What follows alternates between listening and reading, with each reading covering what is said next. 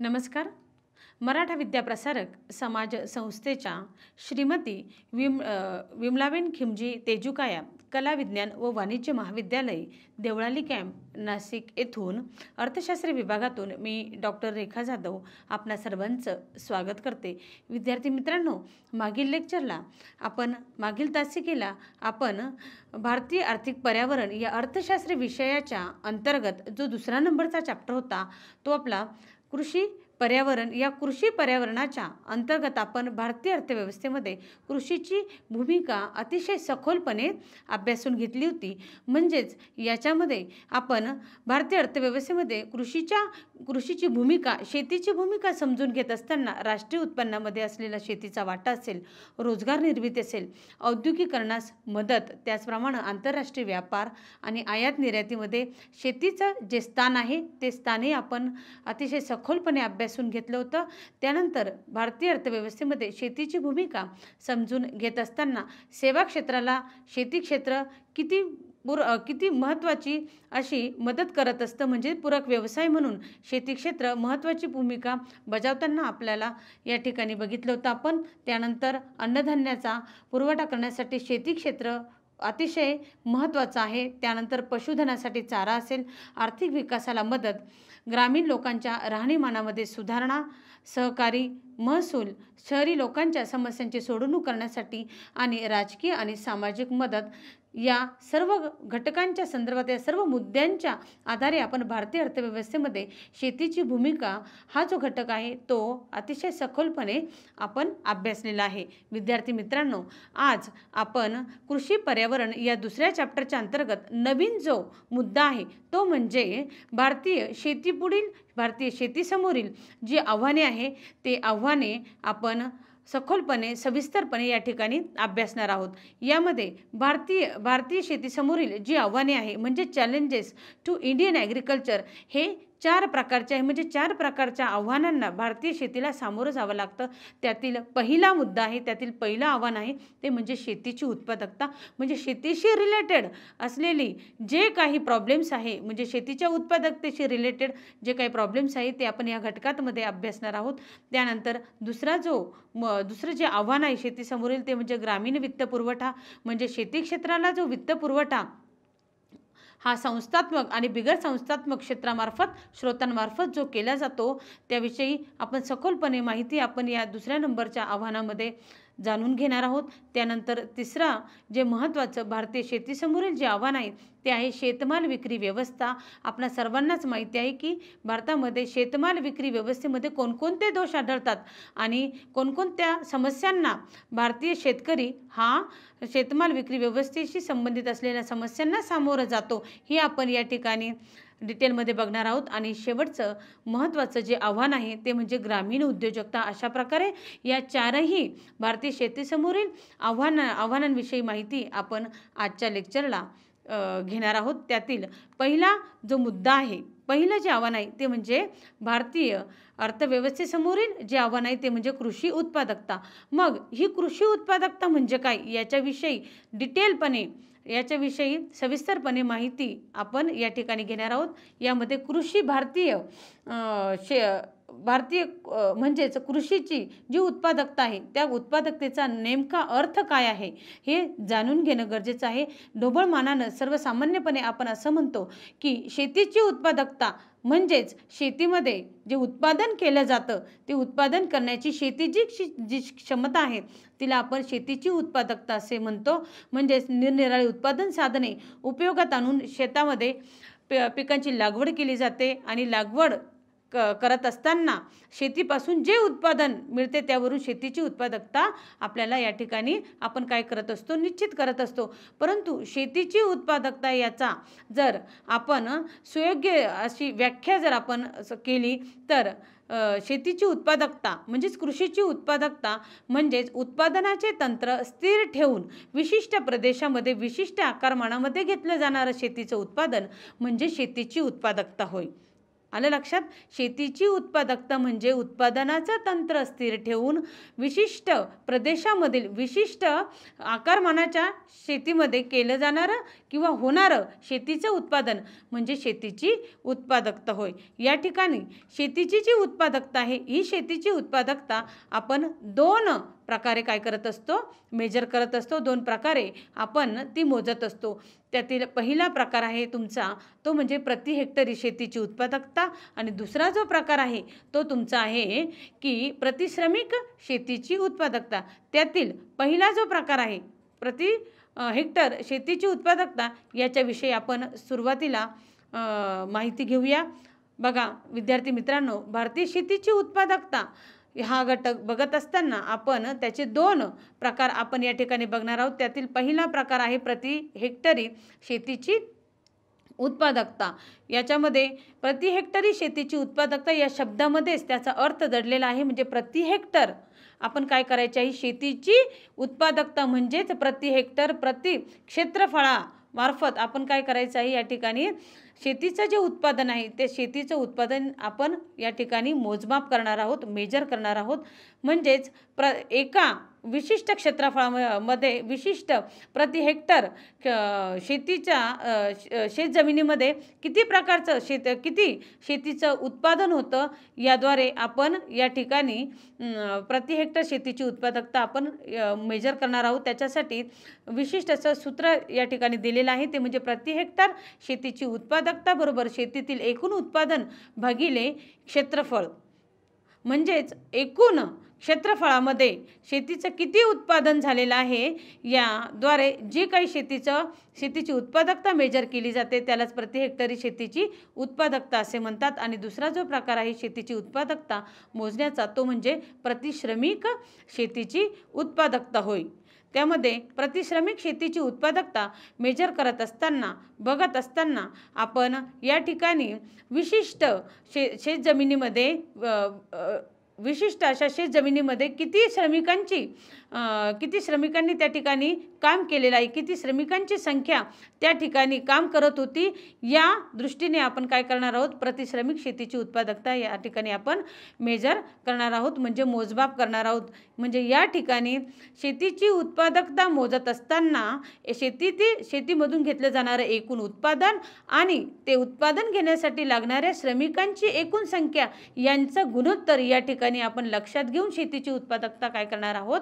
मोजणार आहोत. म्हणजेच त्या प्रतिश्रमिक शेतीची उत्पादकता मोजण्यासाठीचं जे सूत्र आहे ते म्हणजे प्रतिश्रमिक शेतीची उत्पादकता बरोबर शेतीतील एकूण उत्पादन भागिले श्रमिकांची लोकसंख्या. विद्यार्थी मित्रांनो आपण शेतीची उत्पादकता हा महत्त्वाचा जो पॉईंट आहे तो पॉईंट आपण शेतीसमोरील आव्हानाअंतर्गत आपण आता बघत आहोत.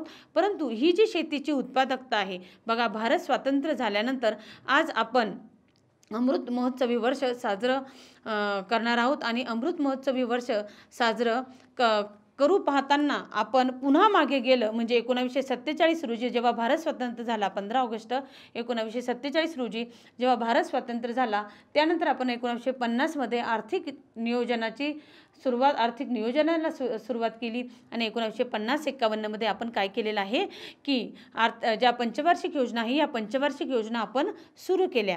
परंतु एकोणीसशे पन्नास एक्कावन्नमध्ये जेव्हा पहिली पंचवार्षिक योजना सुरू केली तेव्हा आपण बघितलं तर भारतीय अर्थव्यवस्थेमध्ये शेतीचंच एक स्थान होतं. आलं लक्षात? हे शेतीचं जे स्थान होतं ते शेतीचं स्थान अतिशय महत्त्वाचं होतं अतिशय महत्त्वाचं मानलं जात होतं. कारण की हे भारतीय अर्थव्यवस्थेमध्ये जे शेती क्षेत्र होतं जे प्राथमिक क्षेत्र होतं या प्राथमिक क्षेत्राचा वाटा राष्ट्रीय उत्पन्नामध्ये हा किती होता? तर छप्पन्न टक्के असा होता. आणि आज आपण जर दोन हजार सतरा अठराचा जर नंबर आपण बघितला म्हणजे भारतीय अर्थव्यवस्थेमध्ये राष्ट्रीय उत्पन्नामध्ये शेतीचा वाटा जर तो बघितला तर हा तेरा टक्केपर्यंत कमी झाले झालेला आहे. म्हणजेच पंधरा म्हणजे पण एकोणीसशे पन्नास एक्कावन्नमध्ये जो राष्ट्रीय उत्पन्नामध्ये शेतीचा वाटा हा छप्पन्न टक्के होता तो दोन हजार सतरा अठरामध्ये तेरा टक्क्यापर्यंत कमी झालेला आहे. जर भारतीय अर्थव्यवस्था ही कृषीप्रधान अर्थव्यवस्था असेल शेती हा भारतीय अर्थव्यवस्थेचा कणा असेल तर नक्कीच या ठिकाणी शेतीची उत्पादकता वाढणं या ठिकाणी गरजेचं आहे. परंतु या दोन्ही नंबरच्या या दोन्ही वर्षांच्या म्हणजे एकोणीसशे पन्नास एकावन्नचा राष्ट्रीय उत्पन्नाचा नंबर आपल्याला जो मिळालेला आहे तो छप्पन्न टक्के आणि दोन हजार सतरा अठराचा जो नंबर आपल्याला मिळालेला आहे तो आहे तेरा टक्के. म्हणजे या दोन्हींचा जर तुलना केली या दोन्हींचा जर अभ्यास आपण केला तर अतिशय मोठा फरक आपल्याला या ठिकाणी लक्षात येतो. म्हणजेच भारतीय अर्थव्यवस्थेमध्ये जी शेती जे स्था शेती जे क्षेत्र आहे ते अतिशय महत्त्वाचं क्षेत्र असूनसुद्धा शेतीची उत्पादकता ही वाढण्याऐवजी काय झालेली आहे? या ठिकाणी कमी झालेली आहे. मग ही शेतीची उत्पादकता कमी होण्यासाठी कोणती कारणं आहे हे कारणं जाणून घेणं अतिशय गरजेचं आहे. त्याच्यामध्ये भारतीय शेतीची उत्पादकता कमी असण्याचे अनेक वेगवेगळे कारणं आहे. त्याच्यामध्ये नैसर्गिक कारण असेल आलं लक्षात? त्याच्यानंतर तुमचं तांत्रिक कारण असेल त्यानंतर संस्थात्मक कारण असेल त्यानंतर आर्थिक आणि सामाजिक कारण असेल असे भारतीय शेतीच्या उत्पादकतेची का उत्पादकतेची जी कारणे आहे तिचे चार विभागामध्ये वर्गीकरण केलेलं आहे. त्यातील पहिला पहिलं जे कारण आहे ते म्हणजे भारतीय शेतीची जी नैसर्गिक कारण आहे त्या नैसर्गिक कारणांच्या अंतर्गत आपण पहिलं जे उपघटक आहे पहिलं जे कारण आहे ते आपण या ठिकाणी समजून घेऊ. ते म्हणजे निसर्गावर अवल अवलंबित्व. म्हणजे विद्यार्थी मित्रांनो भारतीय शेती ही निसर्गावर अवलंबून आहे. म्हणजेच निस निसर्गावर अवलंबून आहे. म्हणजेच या ठिकाणी भारतीय शेतीमध्ये जर आपण बघ भारतीय शेती ही निसर्गावर अवलंबून आहे. म्हणजेच या बा पावसानं जर योग्य साथ दिली तर शेतीचं जे उत्पादन आपण घेतलं शेतीचं जे उत्पादन घेतलं जाणार आहे किंवा शेतीमधून जे उत्पादन घेतलं जाणार आहे ते मोठ्या प्रमाणामध्ये होईल. आणि भारत जर पावसानं साथ दिली नाही किंवा पुरेशा पावसाच्या अभावी काय होणार आहे भारतीय शेतीची जे उत्पादन आहे भारतीय शेतीची उत्पादकता जी आहे ती उत्पादकता या ठिकाणी कमी होणार आहे. कारण की भारतीय शेती ही पूर्णपणे निसर्गावर या ठिकाणी अवलंबून आहे. अव कारण बऱ्याचदा बऱ्याच ठिकाणी योग्य प्रमाणामध्ये पाऊस पडतो. त्यामुळे भारतीय त्यामुळे शेतीचं मोठ्या प्रमाणामध्ये उत्पादन होतं आणि ज्या ठिकाणी पाऊस पडत नाही त्या ठिकाणी ज्या ठिकाणी कोरडा दुष्काळ असतो त्या ठिकाणी शेतीची उत्पादकता आपल्याला या ठिकाणी कमी प्रमाणामध्ये आढळते. म्हणजेच पूर्णपणे भारतीय शेती ही निसर्गावर अवलंबून असलेली आपल्याला या ठिकाणी दिस आढळून येते. जर उत्तर प्रदेशामध्ये आपण जर बघितलं तर उत्तर प्रदेशामधील अनेक जी राज्य आहे त्या राज्यांमध्ये मोठ्या प्रमाणामध्ये प्रचंड प्रमाणामध्ये पाऊस पडतो आणि प्रचंड प्रमाणामध्ये पाऊस पडल्यामुळे या ठिकाणी त्या महापूर येतात. त्यामुळे वित्तहानी होते जीवितहानी होते आणि वित्तहानी जीवित हानी तर मोठ्या प्रमाणात होतेच होते. परंतु प्रचंड अशा पावसामुळे महापुरामुळे अतिवृष्टीमुळे या ठिकाणी शेती क्षेत्राचं सुद्धा मोठ्या प्रमाणामध्ये नुकसान होतं. परिणामी शेतीची उत्पादकता या ठिकाणी काय होते? आपल्याला कमी असलेली आढळून येते. म्हणजे नैसर्गिक कारणांअंतर्गत आपण पहिलं जे कारण या ठिकाणी बघत आहोत निसर्गावर अवलंबून म्हणजे भारतीय शेती ही पूर्णपणे काय आहे? निसर्गावर अवलंबून आहे. म्हणजेच पावसानं साथ दिली तर उत्पादन शेतीचं उत्पादन योग्य होतं आणि पाऊस जर वेळेवर पडला नाही किंवा पुरेसा पाऊस जर पडला नाही तर इच्छा असूनही शेतकऱ्याची इच्छा असूनही त्या ठिकाणी शेतीचं उत्पादन शेतकरी हा घेऊ शकत नाही. त्यामध्ये त्या त्यानंतर भारतीय शेतीची जी उत्पादकता कमी असण्याचं जे नैसर्गिक कारण आहे त्यातील दुसरं महत्त्वाचं कारण आहे ते म्हणजे जंगलतोड म्हणजेच जंगल कटाई. आपणा सर्वांना माहिती आहे मित्रांनो की भारत हा अतिरिक्त लोकसंख्येचा देश आहे आणि अतिरिक्त लोकसंख्येच्या देशामध्ये जसजशी लोकसंख्या वाढत असते तसतसं वाढणाऱ्या लोकसंख्येच्या गरजासुद्धा काय होत असतात? या दिवसेंदिवस वाढत असलेल्या आपल्याला या ठिकाणी आढळून येतात. मग जसजशी लोकसंख्या वाढेल त्या पद्धतीनं त्यांच्या गरजा वाढणार म्हणजेच त्यांना राहण्यासाठी जागा लागेल म्हणजेच वस्तीसाठी त्यांना जागा लागते. त्याचप्रमाणे शेती करण्यासाठी त्यांना शेत जमीन लागते. आलं लक्षात? त्यामुळं काय होतं आहे की दिवसेंदिवस जंगलतोड ही मोठ्या प्रमाणामध्ये होताना आपल्याला या ठिकाणी दिसून येते आहे. मग जंगलतोड झाल्यामुळं शेतीची उत्पादकता ही कमी होत असते. तर या दोघींचा रिलेशन या दोघींचा संबंध या दोन्ही घटकांचा संबंध आपण कशा प्रकारे सांगू शकतो?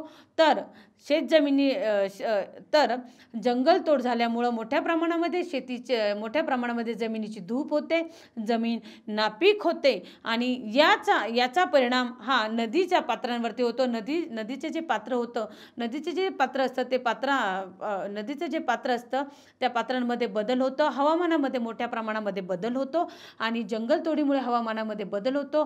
म्हणजे कधी अतिवृष्टी होते कधी महापूर येतो कधी हवामानाबद्दल हवामानामध्ये मोठ्या प्रमाणामध्ये बदल होतो. कधी कडाक्याची थंडी येते आणि त्याच्यामुळे कडाक्याच्या थंडी थंडीबरोबरच कधी चक्रीवादळ येतात त्याच्यानंतर स त्याच्यानं चक्रीवादळ येतात आणि याच्यामुळे पि पिकांवरती शेतीशी शेतीची सम शेतीमध्ये जे वेगवेगळी पिके घेतली जातात या पिकांवरती किडींचा प्रादुर्भाव होतो. आणि या किडींचा प्रादुर्भाव झाल्यामुळं शेतीची उत्पादकता या ठिकाणी काय होते?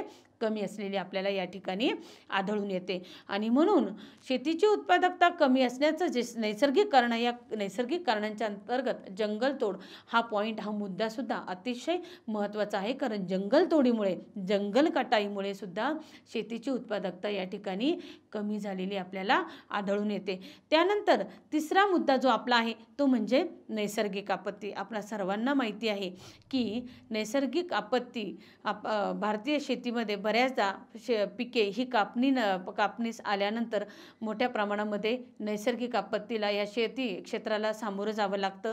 आणि याच्यामुळे उदाहरणार्थ नैसर्गिक आपत्तीमध्ये आपण बघतो की अतिवृष्टी असेल महापूर असेल आलं लक्षात? त्याच्यानंतर चक्रीवादळ असेल सायक्लोन जे आहे यांच्यामुळे मोठ्या प्रमाणामध्ये शेतकऱ्यांच्या हातातोंडाशी आलेला जो असं आहे.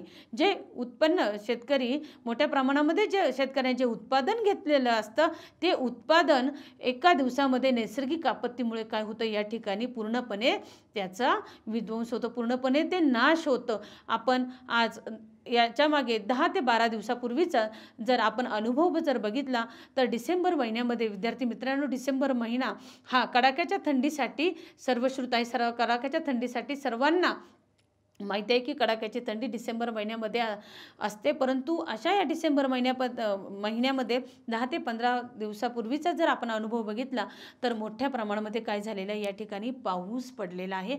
आणि हीच ही जी नैसर्गिक आपत्ती आहे अवेळी जो पाऊस येतो आलं लक्षात? अतिवृष्टी जी होते हवामानामध्ये जे बदल होतात आलं लक्षात? आणि याच्याचमुळे याच नैसर्गिक आपत्तीमुळे काय होतं आहे शेती क्षेत्राचं मोठ्या प्रमाणामध्ये नुकसान होतं आहे आणि शेतीची उत्पादकता या ठिकाणी कमी होताना या ठिकाणी आपल्याला दिसते आहे म्हणजेच भारतामध्ये शेतीची उत्पादकता कमी असण्याचं जे नैसर्गिक कारणे आहे त्या नैसर्गिक कारणांमध्ये आपण तीन महत्त्वाची कारणं पाहिली. ती म्हणजे भारतीय शेती निसर्गावर अवलंबून आहे. त्यानंतर दुसरा जो मुद्दा होता तो म्हणजे जंगलतोडीमुळं भारतीय बा जंगलतोडीमुळे भारतीय शेतीची जी उत्पादकता आहे ती आपल्याला कमी असलेली आढळून येते. आणि तिसरा मुद्दा जो आहे तो म्हणजे नैसर्गिक आपत्तीमुळे भारतीय शेतीची उत्पादकता कमी असलेली आपल्याला आढळून येते. हा झाला नैसर्गिक कारणांच्या अंतर्गत असलेले वेगवेगळे मुद्दे.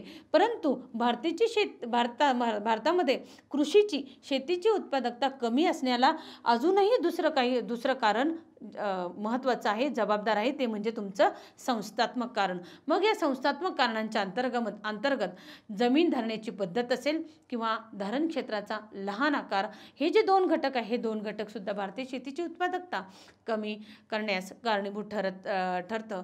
तर त्यामधील पहिला जो मुद्दा आहे तो म्हणजे जमीन धरण्याची पद्धत. विद्यार्थी मित्रांनो स्वातंत्र्य स्वातंत्र्यापूर्वी भारतामध्ये रयतवारी महालवारी आणि जमीनदारी ही पद्धत होती. शेती करण्यासाठी म्हणजे या तीन पद्धतीचा वापर केला जात होता. जमीनदारी पद्धत जमीनदारी पद्धती पद्धतीमध्ये जे जमीनदार होते ते जमीनदार त्यांच्या जमिनी कुळांना कसण्यासाठी देत होते आणि कुळांकडून ते खंडाच्या रूपामध्ये ज्या मोठ्या प्रमाणामध्ये काय करत होते उत्पा मोठ्या प्रमाणामध्ये पैसा वसूल करत होते. खंडाच्या मार्फत. आणि म्हणून जर खंडाच्या मार्फा मार्फत जर शेती उत्पादनाचा मोठ्या प्रमाणामध्ये भाग जर कुळांना श जमीनदारांना जर द्यावा लागत असेल तर त्यांच्या स्वतःसाठी हा नगण्य असा शे नगण्य असं उत्पादन त्यांच्या मु त्यांच्यासाठी त्या ठिकाणी राहत होतं. आणि म्हणून जर नगण्य असं उत्पादन कष्ट करूनही जर त्यांच्यासाठी राहत असेल हाताशी जर त्यांच्या काहीच मिळत नसेल एवढे कष्ट करूनही जर अग अतिशय नगण्य असं जो काही मोबदला त्यांच्याकडे जर राहत असेल तर त व्यक्ती तर त्यामुळे जे काही ज- कुळ होते जे काही शेतजमीन कसणारे जे कुळ होते ते कुळ त्यांना शेतजमीन कसण्यामध्ये कुठल्याही प्रकारचा रस राहत नव्हता. त्याच्यामुळे ते काय करत होते? या ठिकाणी शेतीचे जे उत्पादन आहे शेतीचं उत्पादन वाढवण्यासाठी कुठल्याही प्रकारची नंतर हळूहळू त्यांची जी मानसिकता होती ती मानसिकता हळूहळू काय झालेली होती? कमी झाली होती म्हणून शेतीची उत्पादकता कमी असण्याला हे सुद्धा एक महत्त्वाचं कारण आहे. ते म्हणजे जमीन धरण्याची पद्धत. तर विद्यार्थी मित्रांनो तुम्ही मला एक आता प्रश्न करू. क क तुम्ही करू शकता की मॅडम आज जमीन धारणा पद्धत तर नाही आहे परंतु विद्यार्थी मित्रांनो आज जमीन धारणा ही पद्धती नसली तरीही आजही शेतकरी आपली शेतजमीन हा दुसऱ्याला काय करत असतो? कसण्यासाठी देत असतो आणि त्यातील उत्पादनाचा काही हिस्सा तो त्याच्याकडे स्वतःकडे तो मागून घेत असतो. आणि म्हणून ज्या ठिकाणी स्वतःचं क्षेत्र नसेल ज्या ठिकाणी स्वतःची शेतजमीन नसेल आलं लक्षात? त्या ठिकाणी व्यक्ती मन लावून किंवा रस घेऊन त्या ठिकाणी काम करत नाही. आणि परिणामी त्याचाच परिणाम म्हणून काय होतं? या ठिकाणी शेतजमिनीची उत्पादकता कमी असलेली आपल्याला या ठिकाणी आढळून येते. त्यानंतर संस्थात्मक कारणांच्या अंतर्गत दुसरं कारण आहे ते म्हणजेच धारण क्षेत्राचा लहान आकार. विद्यार्थी मित्रांनो आपल्याला अतिशय चांगल्या प्रकारे माहिती आहे की भारतामध्ये शेतीची उत्पादकता कमी असण्याचं सगळ्यात महत्त्वाचं कारण म्हणजे शेतजमिनीचं दिवसेंदिवस तुकडीकरण होत आहे. शेतजमिनीचा जो आकार आहे तो आकार हा लहान लहान होत चाललेला आहे. आणि आपल्या देशामध्ये मोठ्या प्रमाणामध्ये अल्पभूधारक शेतकरीच मोठ्या प्रमाणामध्ये दिसतात. म्हणजे अगदी थोड्या थोड्या तुकड्यांवरती का थोड्या थोड्या शेतजमिनीच्या तुकड्यांवरती शेतकरी काम करताना दिसतात. आणि अशा थोड्या थोड्या छोट्या छोट्या तुकड्यांवरती शेतजमिनीच्या तुकड्यांवरती शेतकरी जर काम करत असेल तर याच्यामध्ये अशा शेतजमिनीमध्ये अशा धारण क्षेत्रामध्ये कुठल्याही तांत्रिक कुठल्याही आधुनिक अशा तांत्रिक जे तंत्रज्ञान असेल ते तंत्रज्ञान आपण छोट्या अशा धारण क्षेत्रामध्ये तुकडी तुकडीकरण झालेल्या या छोट्या छोट्या आकाराच्या क्षेत्रामध्ये आपण मोठ्या प्रमाणामध्ये जे काही तंत्रज्ञान आहे ते तंत्रज्ञानाचा वापर करू शकत नाही. आणि त्याच्याचबरोबर आपल्याला माहिती आहे की भारताची लोकसंख्या ही दिवसेंदिवस वाढते आहे. आणि वाढणाऱ्या लोकसंख्येला अजून एक महत्त्व वाढणाऱ्या लोकसंख्येबरोबरच भारतामध्ये जी काही वारसा हक्कांना चालत आलेली जी पद्धत आहे त्या पद्धतीमध्ये एका पिढीकडून दुसऱ्या पिढीकडे काय होत आहे? जमिनीचं ज जमीन एका पिढीकडून दुसऱ्या पिढीकडे जाते आहे. त्याच्यामुळे जमिनीचं तुकडीकरण दिवसेंदिवस होताना या ठिकाणी दिसत आहे. आणि अशाच जमिनीचं तुकडीकरण झाल्यामुळे जमिनीचा आकार लहान असल्यामुळं या ठिकाणी शेतीची उत्पादकता आपल्याला कमी असलेली आढळून येते. त्यानंतर शेतीची उत्पादकता कमी असण्याला तिसरं जे महत्त्वाचं कारण आहे ते म्हणजे तुमचं तांत्रिक कारण. आलं लक्षात? आणि तांत्रिक कारणाच्या अंतर्गत पहिला जो काही उपघटक आहे उपकरण आहे ते म्हणजे कालबाह्य उत्पादन तंत्र. विद्यार्थी मित्रांनो आपल्या सर्वांनाच माहिती आहे की कालबाह्य उत्पादन तंत्र तंत्राचा जर वापर केला तर शेतीमध्ये आपण पाहिजे तेवढी प्रगती करू शकत नाही पाहिजे तेवढं उत्पादन आपण शेती क्षेत्रामध्ये करू शकत नाही. आजही मोठ्या प्रमाणावरती भारतामध्ये जी शेती केली जाते त्या शेतीमध्ये हे शेतीमध्ये जे जुन्या परंपरागत ज्या काही साधने आहे जी अवजारे आहे त्या अवजारांचा वापर केला जातो. कारण की नवीन आधुनिक तंत्रज्ञान जर वापरायचं असेल तर त्याच्यासाठी पैसा आवश्यक असतो. आलं लक्षात? त्याच्यासाठी मोठी गुंतवणूक करणं आवश्यक असतं आणि ही गुंतवणूक करणं आपल्या भारतीय शेतकऱ्याला शक्य नाही कारण भारतीय शेतकरी हा गरीब आहे आणि म्हणून तो गरीब असल्यामुळं ती मोठ्या प्रका प्रमाणामध्ये तो गुंतवणूक करू शकत नाही. मोठ्या प्रमाणामध्ये गुंतवणूक करायची म्हणजे त्याला भांडवल लागतं आणि भांडवलाचा त्या ठिकाणी भांडवलही त्याला वेळेवर उपलब्ध होत नाही. परिणामी कालबाह्य जे तंत्रज्ञान आहे त्या कालबाह्य उत्पादन तंत्राचा तो काय करत असतो? गरिबीमुळे काय करत असतो? वापर करत असतो. आणि असेच कालबाह्य तंत्रज्ञान जुने परंपरागत जे तंत्रज्ञान आहे त्या तंत्रज्ञानाचा वापर तो शेतीसाठी करतो. परिणामी शेतीची उत्पादकता या ठिकाणी कमी झालेली कमी होत असलेली आपल्याला आढळून येते. अशाच अशाच कालबाह्य उत्पादन तंत्राऐवजी आपण जर आधुनिक तंत्रज्ञानाचा वापर केला आधुनिक बी बियाणे असेल आलं लक्षात? त्याच्यानंतर जे काही हार्वेस्टर आहे त्याच्यानंतर ट्रॅक्टर आहे अशा आधुनिक पद्धतीचा जर वापर केला तर नक्कीच या ठिकाणी काय होणार आहे? शेतीची उत्पादकता वाढीस मदत होणार आहे. परंतु भारतीय शेतकरी गरीब असल्यामुळं या गोष्टी शक्य नाही. तो परिणामी तो काय करत असतो? कालबाह्य तंत्रज्ञानाचा वापर करतो. परिणामी शेतीची उत्पादकता या ठिकाणी कमी असलेली आपल्याला आढळून येते. विद्यार्थी मित्रांनो तांत्रिक कारणांच्या अंतर्गत म्हणजे भारतीय शेतीची उत्पादकता कमी असण्यासाठी जी काही तांत्रिक कारणे आहेत त्यातील पुढचा जो मुद्दा आहे तो म्हणजे अपुरा पाणी पुरवठा विद्यार्थी मित्रांनो आपणा सर्वांना माहिती आहे की भारत स्वातंत्र्य होऊन आज पंच्याहत्तर वर्ष पूर्ण होत आहे तरीसुद्धा भारत भारतातील शेती ही पूर्णपणे निसर्गावर अवलंबून आहे. म्हणजे आज एकविसाव्या शतकातसुद्धा भारतीय शेती ही निसर्गावर अवलंबून आहे हे आपलं दुर्दैव आहे. आणि म्हणून शेतीची उत्पादकता या ठिकाणी कमी होण्यास अपुरा पाणी पुरवठा हे महत्त्वाचं कारण या ठिकाणी आहे. कारण की भारत सरकारने अनेक लघु मध्यम आणि मोठे जलसिंचनाचे प्रकल्प जरी उभारलेले असले तरीसुद्धा त्यांचा ते पुरेशा प्रमाणामध्ये उपलब्ध नाही. आणि म्हणून काय होतं या ठिकाणी? शे अपुऱ्या पाणीपुरवठ्याअभावी शेतीची उत् शेतीला योग्य असा पाणीपुरवठा वेळेवर आपण करू शकत नाही. त्याच्यामध्ये पर्जन्याच्या लहरीमानाबद्दल आपल्याला अतिशय चांगल्या प्रकारे माहिती आहे. भारतामध्ये पर्जन्यमान हे विषम आहे आणि विषम असल्यामुळे उदाहरणार्थ राजस्थानमध्ये दहा सेंटीमीटर पाऊस पडतो तर तुमच्या आसाममध्ये बाराशे पन्नास सेंटीमीटर पाऊस पडतो आणि असं हे बाराशे पन्नास सेंटीमीटर पाऊस पडूनसुद्धा हे पा हे पाऊ हे जे पावसाचं पाणी आहे ते संपूर्णपणे काय होतं? या ठिकाणी वाहून जाते. ते कुठेतरी अडवून ठेवायला पाहिजे. पाणी अडवा पाणी जिरवा असे हे जे प्रकल्प आहे असा ह्या ज्या योजना आहे प्रकल्प आहे हे जर राबवले तर नक्कीच काय होणार आहे? शेतीची उत्पादकता वाढीस मदत होणार आहे. परंतु ह्या गोष्टी कुठेतरी दुर्लक्षित होत आहे. आलं लक्षात? आणि हासा हा अपुरा पाणी पुरवठा जे पाणी पावसाचं पाणी मोठ्या प्रमाणामध्ये जे पाणी पावसाचं पाणी साठवून ठेवायला पाहिजे हे साठवून ठेवलं जात नाही ते वाहून जात आहे आणि याच्याचमुळे मोठ्या प्रमाणामध्ये शेतीची उत्पादकता अपुऱ्या पाणी पुरवठ्यामुळे काय होते? कमी होताना आपल्याला या ठिकाणी दिसते आहे. आलं लक्षात? त्यानंतर तांत्रिक कारणांच्या अंतर्गत पुढचा जो मुद्दा आहे तो म्हणजे आपला बी बियाणे व खतांचा वापर. आपला आपल्या सर्वांनाच माहिती आहे याच्या अगोदर आपण बऱ्याचदा उल्लेखही केलेला आहे की भारतीय शेतकरी हा गरीब आहे आणि गरीब असल्यामुळं तो आधुनिक पद्धतीनं आधुनिक पद्धतीने शेती करण्यासाठी जो योग्य असा आधुनिक बी बियाणे असेल खतांचा वापर असेल रासायनिक खते असेल कीटकनाशके असेल यांच्यामध्ये जर त्याने गुंतवणूक केली तर गुंतवणूक जर केली आणि त्याचा वापर जर केला त्याने तर तो काय करू शकतो? मोठ्या प्रमाणामध्ये उत्पादन घेऊ शकतो. परंतु तो गरीब असल्यामुळे या गोष्टी तो करू शकत नाही. आणि म्हणून घरगुती बी बियाणांचा वापर करतो. बऱ्याचदा काय होतं की घरगुती बी बियाणं वापरल्यामुळे काय होतं? की त्या बी त्या बियाण्यांना किडही लागलेली असू शकते तेच पुन्हा आपण पीक घेण्यासाठी किंवा पीक पेरणीसाठी आपण तेच बियाणं जर वापरलं तर त्यातून मिळणारं जे उत्पन्न त्यातून मिळणारं त्यातून शेत जमिनीमधून त्या बियाण्यांपासून होणारं जे उत्पादन आहे ते उत्पादन ऑब्व्हियसली कसं असणार आहे कमी असणार आहे.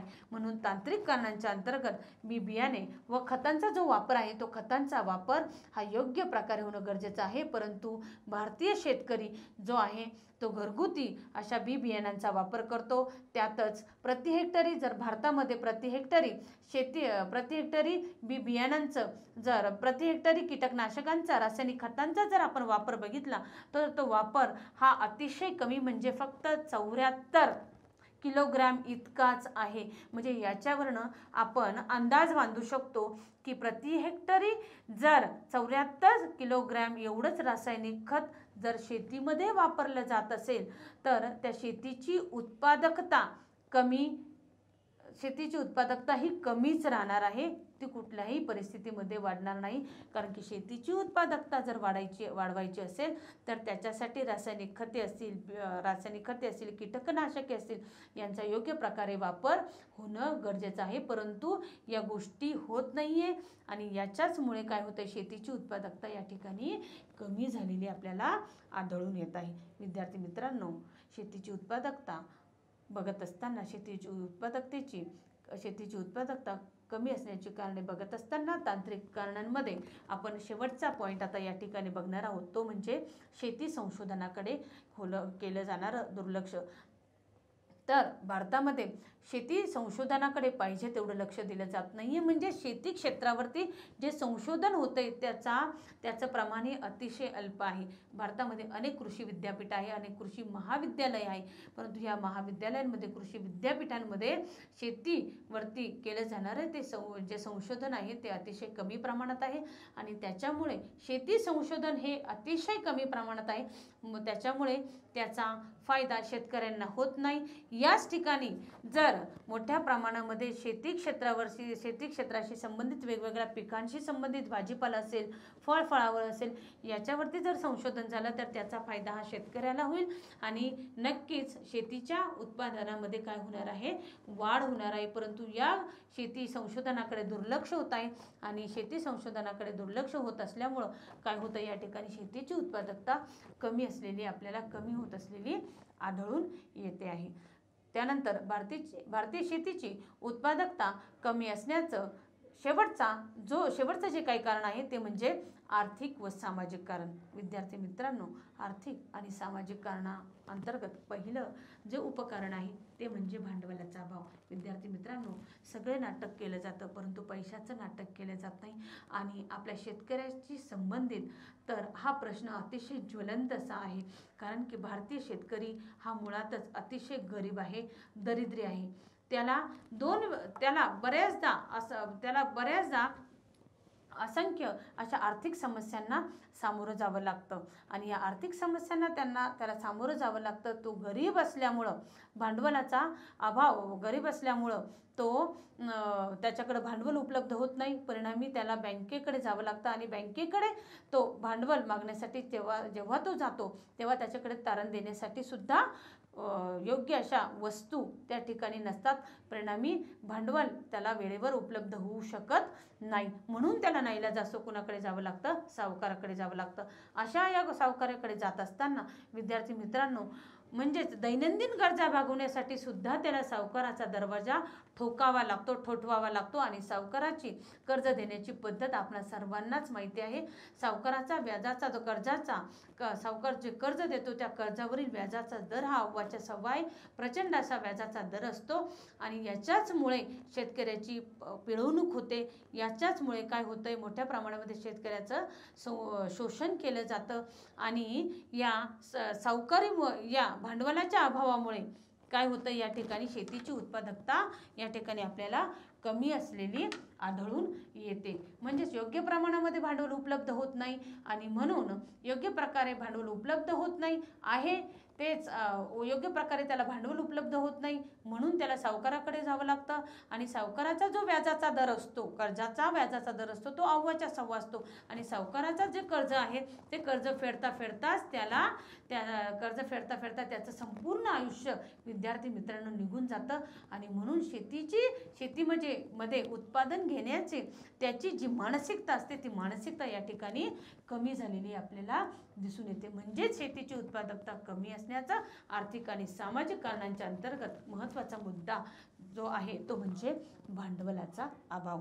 त्यानंतर दुसरा जो मुद्दा आहे तो मुद्दा तुमचा आहे तो म्हणजे शेतकऱ्यांचा कर्जबाजारीपणा.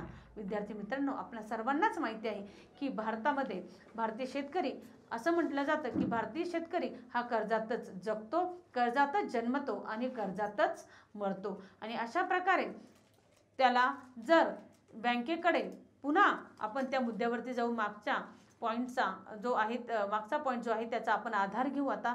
आणि म्हणजेच जेव्हा त्याला बँक कर्ज पुरवठा करत नसते तेव्हा त्याला अर्ध्या रात्री कुणाकडे जावं लागतं? तर सावकाराकडे जावं लागतं. सारखं सावकाराचा दरवाजा ठेवठवावा लागतो.